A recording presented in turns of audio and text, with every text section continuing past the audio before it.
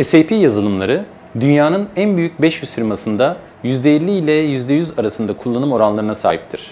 İlk 500'de kimya, ilaç, madencilik sektörlerinde %100'lük bir kullanım oranı bulunmaktadır. Tüketici ürünlerinde %86, otomotivde %89, akaryakıt sektöründe %90'lık bir kullanım oranı bulunmaktadır. SAP 24 ana sektörde yazılım çözümleri sunmaktadır.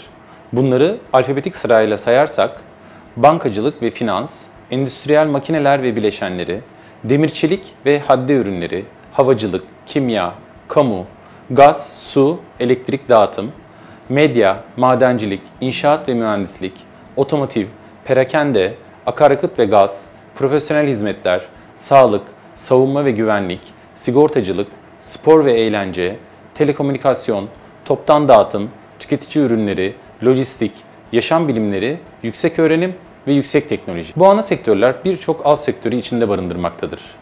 Örneğin bisküvi, çikolata, kek üretimi yapanlar, süt, yoğurt, peynir üretimi yapanlar, kuru yemiş, bakliyat üretimi yapanlar, içecek üretimi yapanlar, un, makarna, ekmek üretimi yapanlar, kozmetik ürünler üretenler tüketici ürünleri sektörü altında değerlendirilmektedir.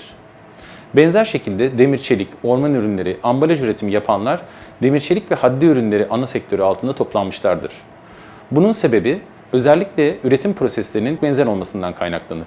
SAP 43 yıllık tecrübesi sonucu bazı sektörlerdeki ihtiyaçlar doğrultusunda sektöre özel çözümler geliştirmiştir. Bunlara Industry Solution, kısaca IS denir. IS Retail, perakende, IS Media Media, IS Her yüksek öğrenim, IS AFS konfeksiyon ve ayakkabı, IS Utilities elektrik, su, gaz dağıtım, IS Cable kablo üretimi sektörlerine özel yapılmış endüstri çözümlerine örneklerdir.